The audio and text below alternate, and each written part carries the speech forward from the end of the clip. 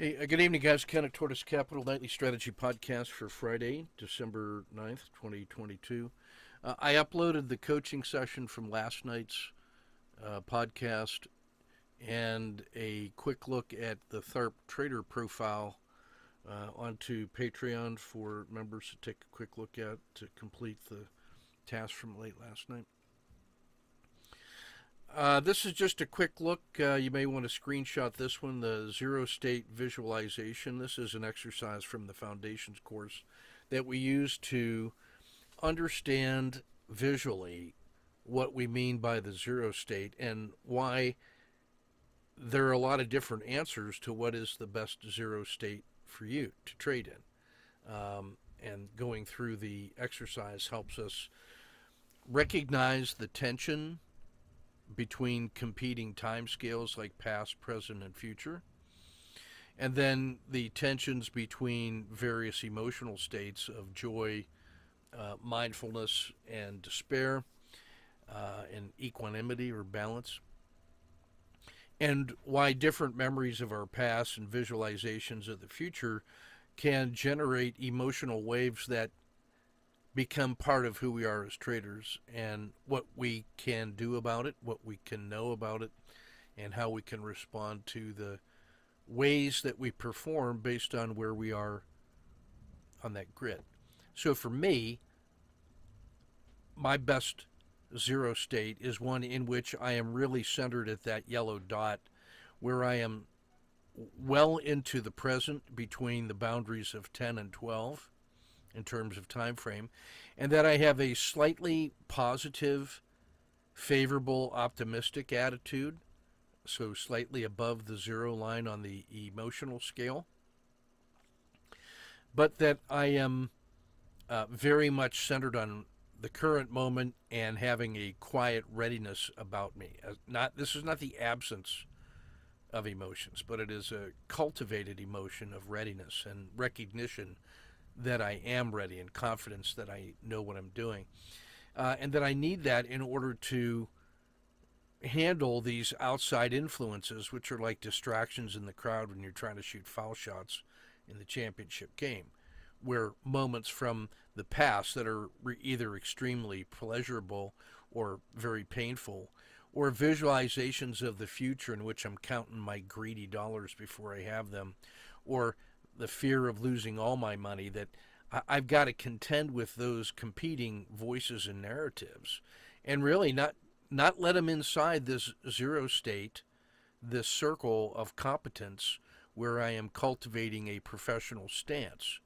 And for me anywhere in that little battle circle is effective but my ideal state is in that up into the right quadrant where I am leaning forward with a bias for action, but under control, and also with a positive expectation about what's going to happen. So, the exercise in the foundations course takes you a lot deeper into that, and it's is one of the most important uh, self understandings that we do in that course to help you with your ideal state and how you perform in these different areas and and it's going to vary by person in the same way that our emotional and cognitive states vary by person. All right, so let's start today. Uh, let's get into the into the session, and we'll begin as always with the sniper trade of the day. And uh, today we're looking at, um, at U.S. Steel as usual. Let me get my get my pen working here. Sorry. One moment moment. There we go.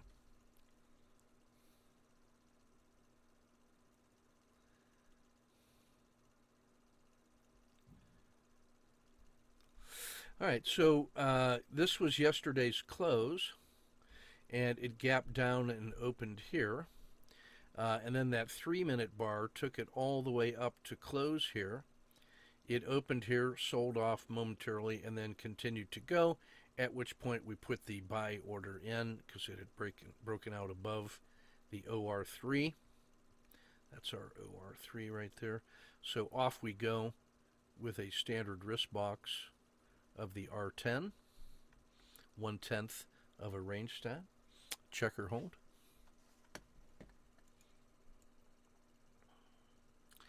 Uh, this moves out nicely um, for the next, you know, the rest of that bar, the next bar, then the third bar after has a lower high and begins to close, and now I'm feeling okay. Up, and then it takes out the two bar low, so that becomes a one, two, three exit. And if this is one unit of risk, that's about one unit of reward plus a little spillage. And that's a nice way to just get one in the bank, get started, and warmed up. It retreats directly all the way down to the PSAR and challenges it with price once and then twice. And now we get the R10 has come across the baby dragon and all the way through the dragon and leaves the dragon. And so we take the short side position. And what I'm looking for is this key price level here that if it takes out the belly of yesterday's RL10 near the close, uh, or if I if it's going to take out the mathematical low of the day, uh, then somewhere in this region, uh, I'm going to have a confirmation of a genuinely large move, and those would we would call those collapsing dragons. And so that leaves this space between my entry and that space as the tactical space in our mind. And all we're trying to do in the tactical space is get our risk out of the market. So if I can get it past my my entry, which is right there, then uh, as soon as I can do that, I can lock in a no lose plus dinner for two wedge, which takes my risk out and really affects my psychology in a positive way.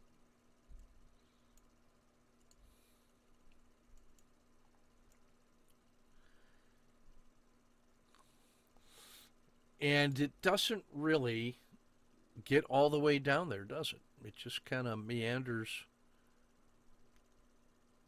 Um, never really gets down below that low, doesn't get down to this region or this region. And the R10 is just kind of drifting downward and it times out essentially. You have the PSAR sort of makes it, hey, what are you going to do? Fish or cut bait? So we cut bait and uh, we make a little bit, maybe a half an R on that little piece. If that's one unit of risk, that's about a 0.5 of reward. Now, I'm still interested that if it does violate below here, um, I or it gets down into this region, I'm certainly willing to be short. Uh, but failure to fail is information. And so um, I take the low of the day, uh, a couple higher lows, and I'm going to treat that as a stop and reverse uh, and call that one an SSC, supported spring crossing, because prices move from a measured high, significant low, and then PSAR flip. Uh, dragon leaves the river, and up we go kind of grinds into a another half an R. So now this is feeling like a grinding day, and I'm getting paid by picking up these little fragments. So 0.5 here and a 0.5 there, that's another one, plus this one. So now I'm at about plus two for the day. Now this one rolls over at a lower high compared to the previous peak. So this feels like a Kata 2 to the downside. I could wait for it to take out this low here, but because I already have the lower high, I can take it inside the pocket as the R as the R10 comes through the dragon.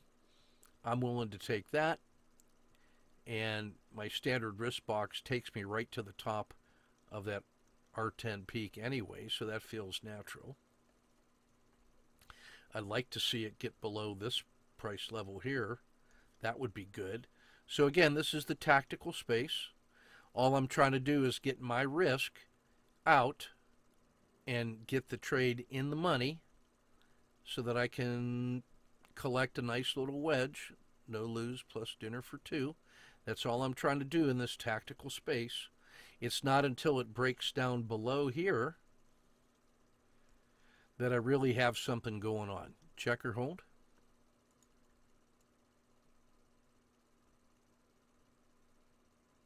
Bingo. Right on time.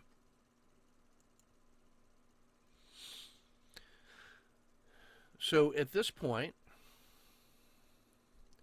uh, we've got about 1R in hand, but I like this structure that with the lower highs, and this entire space through here, it was it was supposed to go, but it didn't. So that's failure to follow through. And now this feels with the lower high that, and then the break right here. This feels like it's all failing. So I'm willing to go almost at uh, like a one hour battle drill, if you can. I don't want to call it that, but uh, with one hour and momentum in hand and all of this here in a bear quiet market, uh, and 2R in hand. I mean, I've got 2R from this trade, and this one is already 1 in hand, so I'm plus 3 for the day. So, in one sense, you could take one of those and roll it into that and use markets money if you want to be if you want to reduce your anxiety about money. That's a way to do it. And then by this time in the trade, uh, you know, I wanted, I would, I would like to have on that move, it locked in. And now that I've got this piece in, as soon as I can, I'd like to get this one in the money. Now, the first trade is clearly in the money and I will have gotten a wedge, the no lose plus dinner for two on the second position. So that feels pretty good.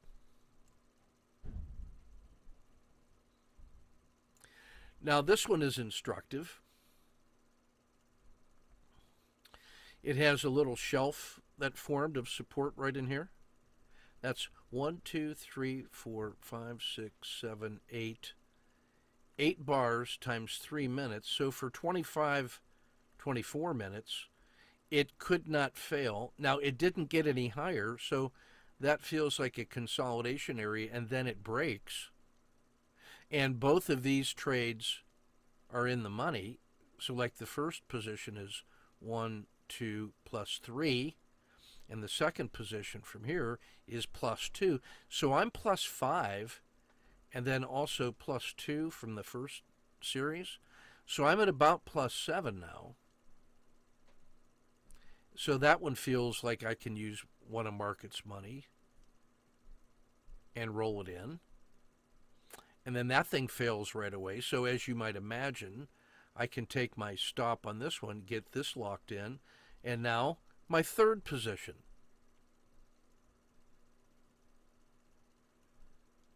is it no lose plus dinner for two. And I'm happier than a dead pig in the sun.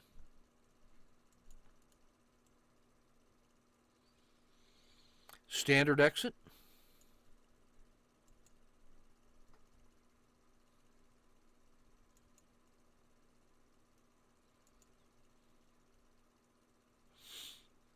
So that one's about probably 7 R. Um, I get a supported spring crossing here. Uh, all I'm doing is taking one of the seven or eight R that we have so far.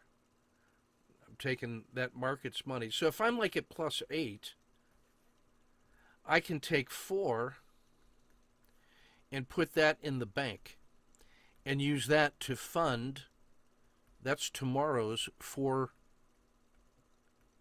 that's tomorrow's risk capital earned today. So I've actually, if I have something like my own core capital, and today we were so good, I can take those earnings and put that in a little holding account conceptually for tomorrow. You know, uh, D plus one, so that's tomorrow. Now, tomorrow's four bullets of risk I can take out of call that the weekly gains or today's daily gains, whatever I have, whatever excess I have from this week. And then I don't even have to touch my true core. I can be looking just at weekly markets money and be more relaxed with those four because I remember where it came from. This I don't have a emotional contact with that stuff yet until I get through the end of the week. So that's a way that you might rationalize and compartmentalize the way you approach money management. So we're into an SSC pattern here. Quick scratch, stop and reverse to the short side because why not? That's been the theme of the day. That brings in a quick 1 to 2R. And that's enough for the day. So that's about 10. Uh, let's take a look at the traders today before we get into the review of the weekend. If we can, we'll do that. Not not tight. Let's let's look at. Yeah, let's do it that way. It is Friday, so see how the traders fared today.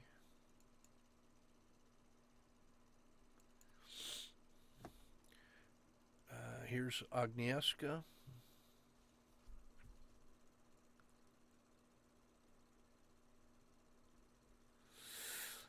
Uh, she tries an SSC on the Aussie dollar five. Quick, uh, quick loss. It reverses. It gives her a. Now it's a Kata two, and the PSAR flipped, and she brings home 1.9. So she doesn't stay wrong too long because you don't know that it's just going to stop right there like it did. If this were to have broken below this, look out below. So you want to take the orderly exit when you can, in my view. Um, I'd have been very tempted by this, and I would like to have been able to get out here. And then after this period of enormous volatility, the PSAR flip, new trading day, new session, gets her risk box on, gets paid, quick scratch, 1.6 for the day. Very nicely done, very artful. This looks like Kyun on uh, Tesla. Maybe I don't. No, no, I'm sorry, Satya. Sorry. Read my own chart here.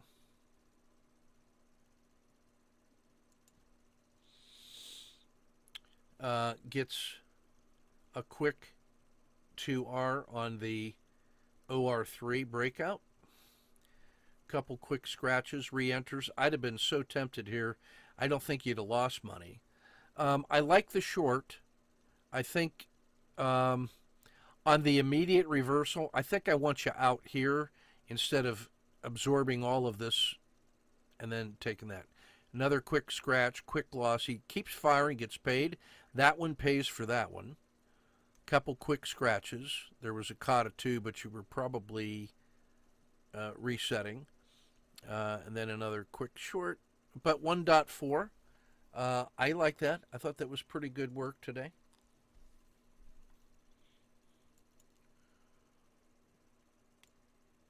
Um, basically, some scratching in MDB. Wasn't much of a mover today, not much to see there. Although I do have to say, um, if we're going to. Come on, Ken. Uh, this one, I think when this does not work right away, I think you got to get out when it crosses the dragon. That makes this loss a little less, this loss a little less. But I like that you keep firing. But you know, if this is 1.7, there was another 1.7, 1.7, and 1.7. So uh, MDB may have more than you're expecting uh, and keep going. But I do uh, notice that you were looking. So there was a span of control for you there.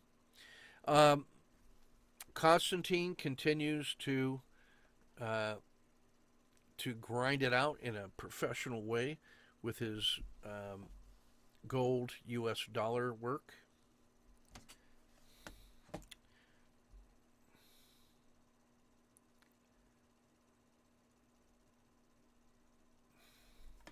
That stupid pen's not being very responsive for me, pardon me.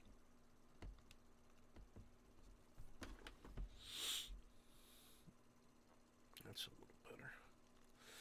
All right, so he's got this long sideways Z3 pinch, breaks down below, gets paid, gets a stop and reverse right here. Now, where I want you to start noticing is this price right here at the top of that shelf. Uh, this is where it was supposed to grind or even fail, but it didn't. And so we got to be ready for that. You get a second position, and then instead of seven, you got 10. And then another PSAR flip. What an orderly trade XAU the dollar is. Boy, I, I can't imagine why more of us are not doing that. All right, you saw my trades in uh, U.S. Steel. Here's uh, Nolan looking at some work here. There's his nice big breakout to the upside. Um, I like the short here. This is still pretty good. Uh, I like that one. I like the quick exit and then the, a couple kata twos. If you keep firing, there's more available, but still 1.5. That's pretty good.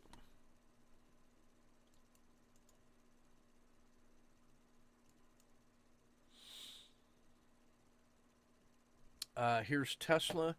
Now uh, he was. This was a span of control uh, issue here.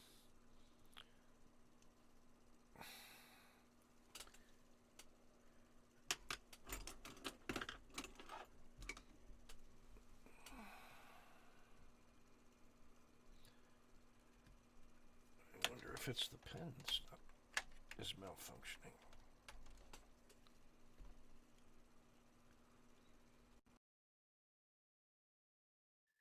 All right. So he was working on um, U.S. Steel, and so wasn't there for this piece. Um, that's a that's a nice one, two, three kata two quick cut. I like the reentry. Or no, I'm sorry, this was short and then a quick cut. That's a pretty good reentry, which pays for Motha. I don't know that those are mistakes. I I'm not persuaded those are mistakes. Uh, we, could we have maybe trimmed it a little bit? Yeah, maybe. But I think uh, I think you, especially in Tesla, you got to be ready for that to go. And I think in either direction, and you did. It's just that's the price of doing business. Uh, caught it two over there as well. I think you're harsher on yourself than you need to be on that one, to be honest. Um, yeah, this is an important one. This is an urgency to trade. Um, yeah, we don't not not sure what that. Maybe that's a kata too, but this first one, that short, is if you were if you were really searching and we look back far enough, we would probably see this as a uh, collapsing dragon we'd probably see a collapsing dragon here. But that's out quick. Um, I like to see the longs after that reversal, and uh, what this looks like is the end of the trading day.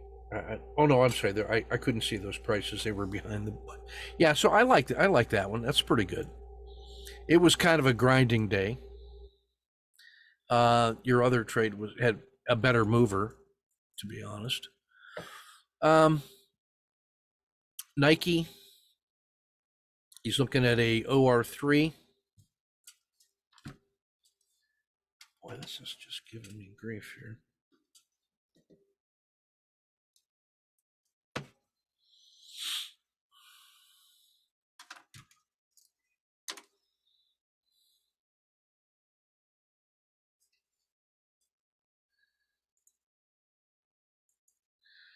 Uh, that was he was marking off the OR3 move. There's a collapsing or a VWAP collapse right there, uh, and then a good long trade for one. I like that. That's opportunity trading and uh, well managed. He was, you know, the advantage of trading out in this area is you get you get through all those morning shenanigans, and this is more like the professionals getting set up for the rest of their day. Um, take a quick look here for Tim.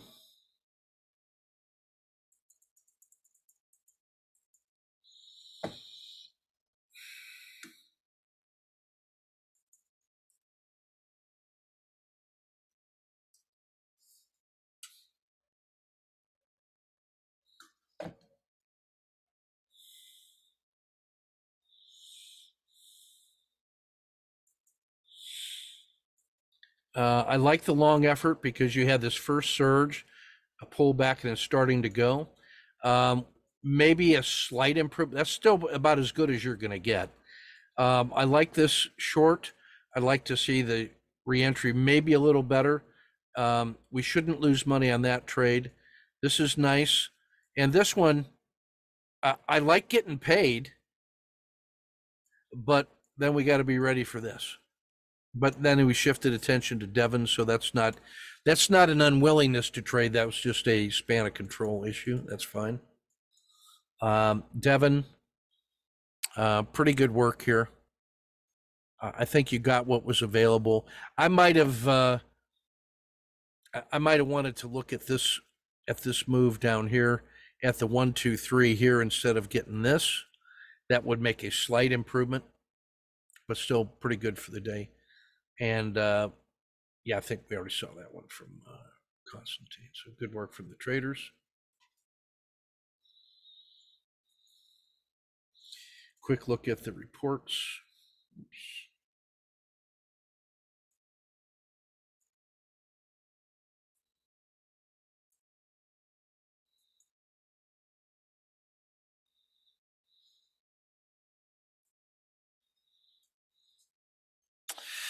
All right, so we remain in um, uh, bearish quiet. You see the weakness of the last couple days reflected in the short term.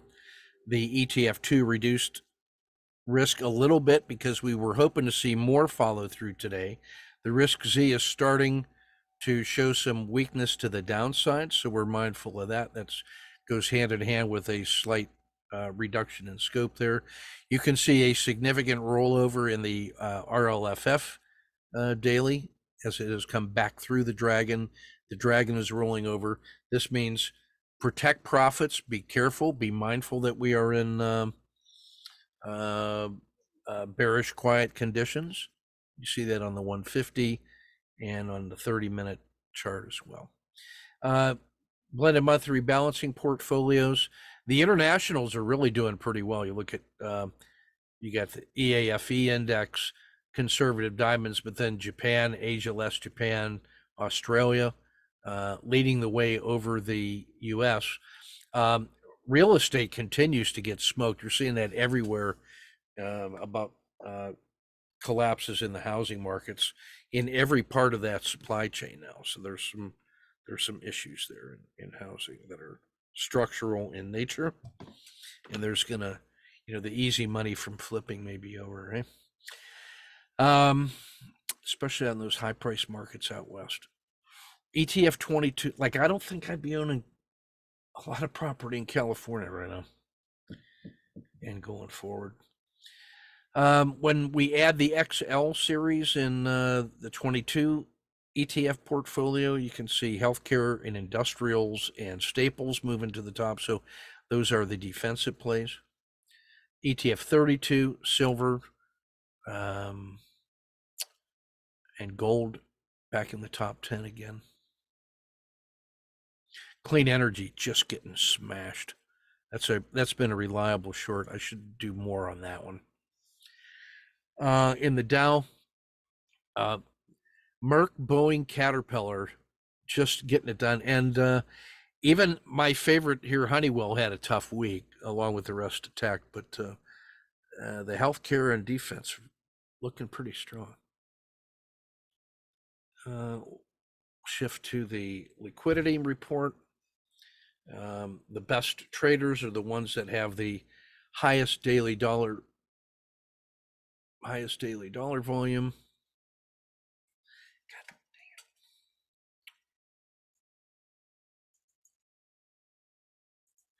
And uh, and are also very liquid, so that's going to give you uh, energy.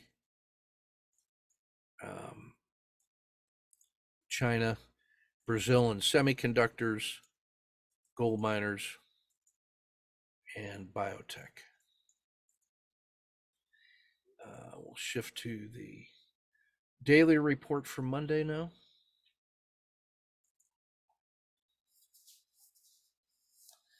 And we've seen a little bit of a warning in the US beginning to manifest in the uh, mid caps as potential uh, overbought conditions now. So that's a warning. And again, in the, the min pains, these are all the staples and defensive plays. Procter, McDonald's, Pfizer, and Coke, joined only by IBM from Techland, but real weakness in the metals, Tesla, and, and energy continuing to suffer. Uh, finance rolling over, Goldman rolling over.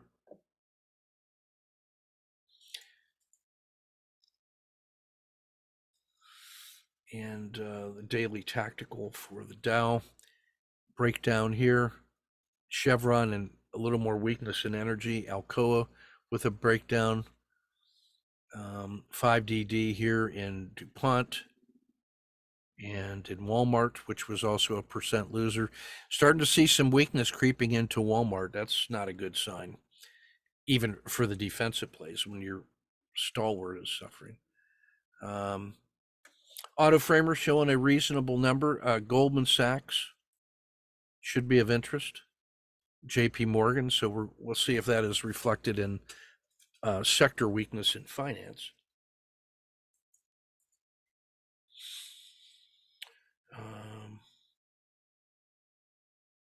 Yeah, it is. So when I look at finance, I want to take a quick look at XLF. Uh, it's 4.2 to 1 on the auto framer. Uh, it was a doji and is in a channeling and an overreaction um, and is a 551W. That's a kind of an ideal spot. If we see any kind of strength next week and finance is better than the market, that's a that's a clear winner. And then these ones that are compressed on the 10 day uh, have have created themselves a little value proposition um, to be mindful of. Uh, nice move continuing in silver. It's a defensive play that's not crypto standard numbers for your auto framers and squeezes for those of you framing at home. Uh, in our snipers, uh, still a handful of Godzilla's. NRG is another good mover. Oh, we saw that one over the last two days, still there. Um, a handful of the S&P most volatiles on both five day and one day. I'd be looking at ATVI, VNO, and Halliburton in the energy space, along with NRG and, and Schlumberger. That's the energy sector getting ready to pop. Standard stats. Um, the volatile ones in our symbol set here for the tactical symbols marijuana, oil, Devon Energy, and oil exploration. So it's the energy sector that's at a in a critical state, ready to pop. Um, and the rest of it is standard stuff. And we'll see you guys tomorrow night. Gonna get upstairs and help my brother finish working on our home remodeling. He's just doing some great work. Always great to connect with him, and he's such a craftsman. Uh, just fun seeing him and spending time. I took him down to our local steakhouse uh, for some good Kansas protein. Good times. All right, take good care, guys, and we'll see you uh, storytellers at eight thirty tomorrow morning uh, for coaching, and then um, Ken Hum and the Swings for at uh, eight thirty or eight o'clock. Eight o'clock. Yeah, eight o'clock tomorrow. What time do we do that? Brain dead. Eight thirty. Sorry. Take good care and see you tomorrow.